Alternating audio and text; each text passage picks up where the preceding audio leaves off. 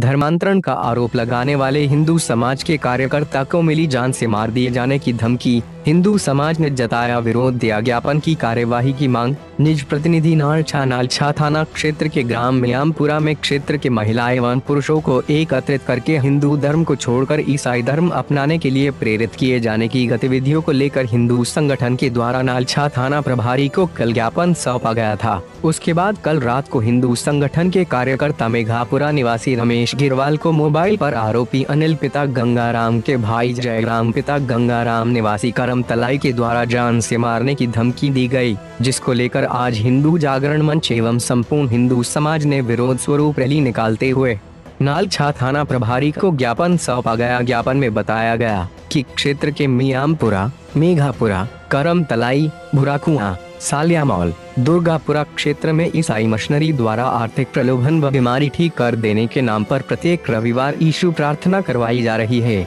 और हिंदू धर्म को छोड़कर ईसाई धर्म अपनाने के लिए प्रेरित किया जा रहा है। जब इस मामले के आरोपियों के विरुद्ध थाने पर कार्रवाई को लेकर ज्ञापन दिया गया तो हिंदू संगठन के कार्यकर्ता को जान से मार दिए जाने की धमकी दी जा रही है। अतः उक्त मामले के आरोपियों पर कड़ी कार्यवाही की जाए। इस मौके पर हिंदू जागरण मंच के प्रांत अध्यक्ष आशीष बसु, हिंदू जागरण मंच के जिला मंत्री लोकेश यादव, जनपद अध्यक्ष लालजी डावर, संतोष राठौड़, महेश जायसवाल, पूर्व मंडल अध्यक्ष बंशी जाट, भोजपाल दरबार, दिलीप मोहरे, रमेश गिरवाल धन सिंह करम तलाई लकी यादव, राकेश कुशवाहा, अशोक कुमावत, नीरज कुशवाहा सहित कई हिंदू समाजन उपस्थित थे। धार ज़िले के नारछा से विनीत जी की रिपोर्ट।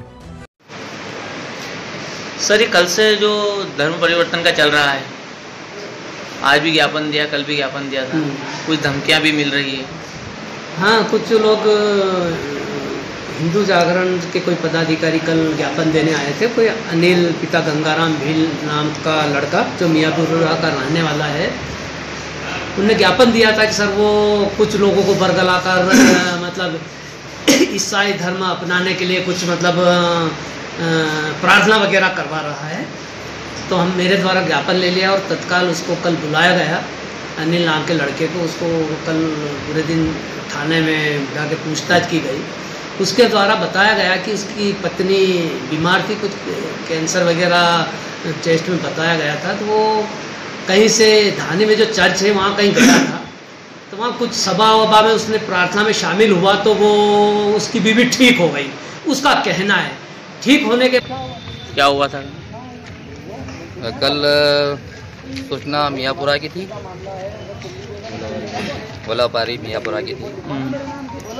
कल जो घटनाएँ हुई वहाँ पे, कि यहाँ पे ऐसा चर्च के बारे में काम किया जाता है। और एकत्रित लोग हुए वहाँ की जगह, जिसके बाद में मेरे को सूचना मिली।